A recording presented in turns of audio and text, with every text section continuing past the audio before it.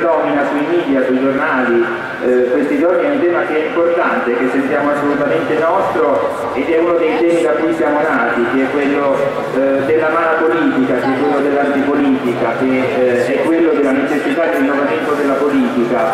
E questi giorni insomma, sono tutti attenti a misurare la vicinanza la lontananza dai partiti. Eh, è un dibattito al ecologia e libertà, al quale noi non ci sottraiamo perché eh, a differenza di altri non abbiamo bisogno di mascherarci in nessun modo, noi non abbiamo niente da nascondere. Non ci sottraiamo perché noi siamo gli unici ad avere un bilancio che è pubblico, di cui eh, anche appunto del nostro bilancio, sono oggi dati che sembrano importanti, possiamo andare orgogliosi. Eh, punto di cui possiamo andare orgogliosi perché Sele è un partito che eh, si regge su energie volontarie, sulla forza delle idee dei suoi militanti e sulla forza del suo progetto. Non è, non è un compito semplice, è un compito pesante ed è pesante per diverse ragioni. Ne ricordo, ne ricordo due, due enormi ragioni. La prima, la difficoltà oggettiva dei problemi, per cui davvero non serve promettere soluzioni miracolistiche, fare le cose facili, non, non, non si possono fare cose, presentare facili cose che sono davvero difficili. E poi la mancanza, la mancanza di risorse che colpisce gli enti locali per le politiche governative che magari riducono, eh, riducono un pochettino gli acquisti di aerei ma se ne acquistano sempre decine e decine di aerei da guerra che non servono a niente. Non alla montagna. E poi c'è un altro elemento di, di difficoltà.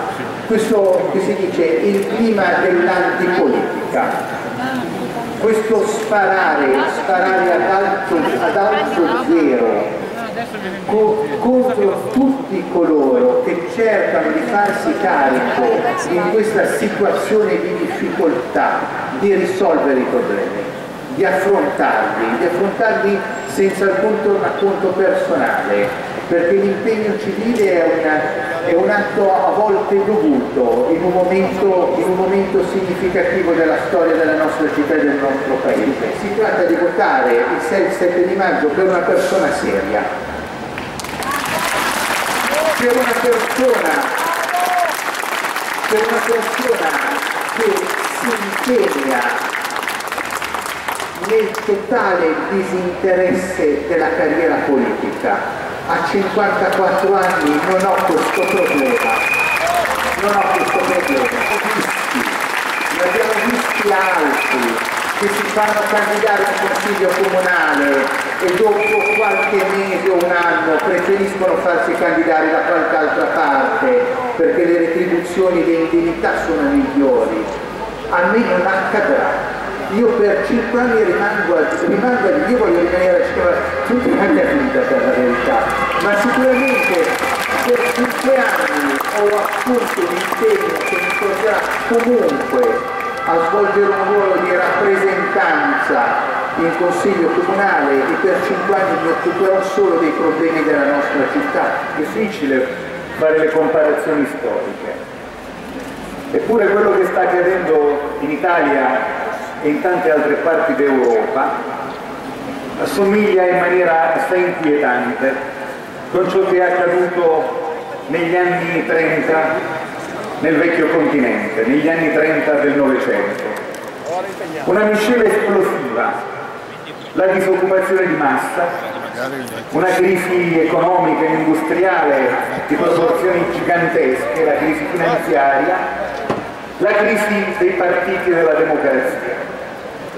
Tra gli anni 20 e gli anni 30 questa miscela esplosiva per l'Europa significò il fascismo, significò una semina di veleni, il rifiuto della politica, l'invocazione dell'angelo vendicatore che arriva dal cielo e produce la magia del cambiamento.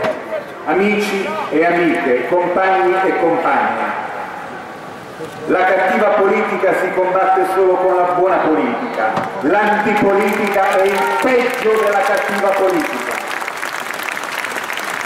La politica è l'organizzazione della nostra vita, la discussione su come stiamo, è l'analisi critica puntuale dei dolori, delle pene, delle speranze di una comunità. L'antipolitica è l'idea che tutto è semplice, che basta una sorta di esorcismo per scacciare il demone, che basta una bestemmia salvifica, rigeneratrice, per cancellare ciò che ci offende, ciò che appare osceno. Attenzione, io credo che anche i tecnici che ci governano debbano avere contezza di quanto è diffuso il disagio sociale, di quanto è acuto il dolore e non soltanto di chi ha una lunga esperienza di espropriazione di diritti, ma il fatto nuovo oggi è rappresentato da un lato dallo slittamento del ceto medio verso una condizione di precarietà, di incertezza, talvolta persino di povertà. Ed è soprattutto rappresentato dal destino delle giovani generazioni. Come è potuto accadere che questa destra si insediasse al potere e diventasse classe dirigente? È potuto accadere perché il mondo del lavoro ha perduto le parole per rappresentare il proprio orgoglio, i propri diritti, le proprie ragioni. È potuto accadere non solo perché loro hanno vinto, fatemelo dire, perché noi abbiamo perso, perché noi ci siamo persi, perché noi ci siamo smarriti tante volte.